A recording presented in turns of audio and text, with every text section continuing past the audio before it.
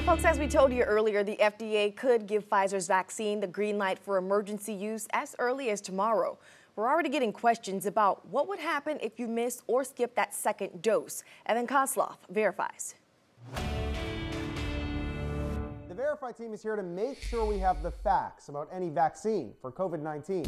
And all over social media, you'll see questions about why there's a second dose. So let's verify the following questions What happens if you skip the second dose? And what happens if you get that second dose earlier or later than suggested? Here are sources an analysis of the Pfizer vaccine by the FDA, and a pair of infectious disease specialists, Dr. Amesh Adalja and Dr. Linda Nabha. Let's start with what happens if we skip that second dose. You're not going to get the maximal immune response. We know that there is some immunity that people will get after a single dose, but it may not be as durable. It may not last as long. Just look at the Pfizer vaccine, for example. An FDA analysis of the study confirmed that there is an efficacy rate of 95% after the second dose. Meanwhile, there does appear to be a level of protection after one dose, although there's not enough data to know for sure. We don't have real life data, right? We don't know if you only give someone one vaccine and send them out in the world what the response is going to be. And that brings us to question number two. Pfizer is telling you to get your second dose 21 days after the first.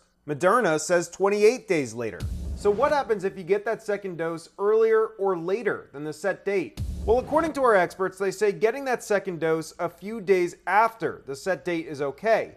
They say the real concern is getting the second dose too early.